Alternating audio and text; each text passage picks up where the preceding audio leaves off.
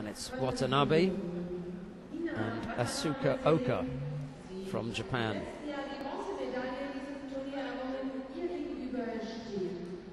Asuka Oka, sie konnte dieses Turnier in 2007 gewinnen und auch dieses Jahr war sie schon recht fleißig in Wien. So what do you think about the 81 kilos?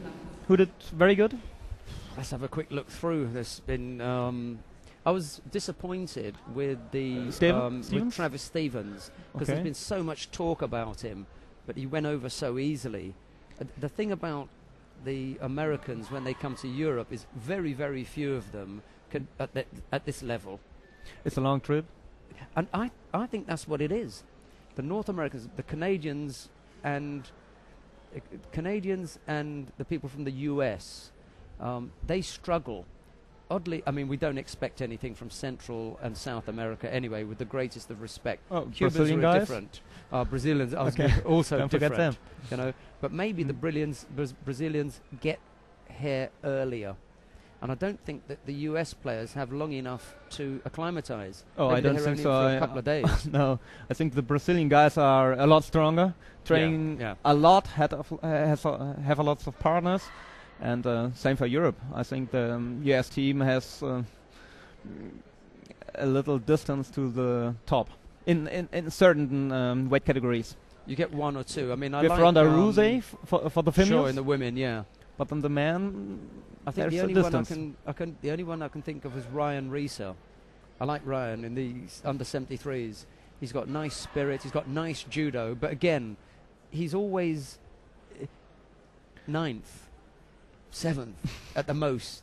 You know, Mhm. it's not even something that y- that we would in Europe take note of. If one of our players was, was consistently finishing ninth or seventh, we just Oh, we just leave technique. it. Um, whereas for them, they it's like a big achievement if they manage that. You know, they really think, "Wow, I came seventh in a, a World Cup in Bucharest or something." You know. and then Daniel McCormick in the heavyweights. Well, he was woeful, and he just rolled over to an Egyptian or something or Tunisian. You know, in in the first round, which is a real shame because. You, you read about these players f- on, on the Pan Am website or the US website, and you think, well, let's have a look and see how good these, these kids are.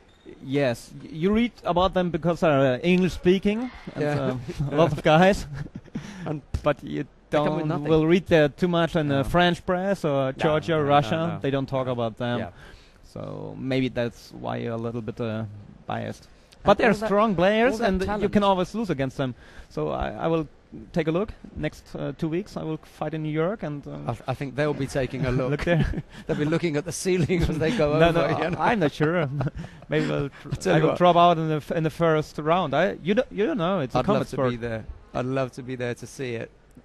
Because they'll be waiting. I mean, be the, they'll be waiting for that quality of play. I'm not talking about you specifically. Oh, that was nice. Drop seoi nage. Really neat, tidy. We may get a, a replay of it from Watanabe, yeah.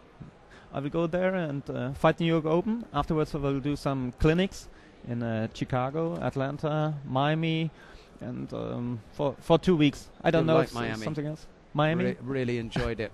Take, take a look. take your swimming costume. no, we we want to play judo. no, I mean when you must have a break, you know, take a bit of time and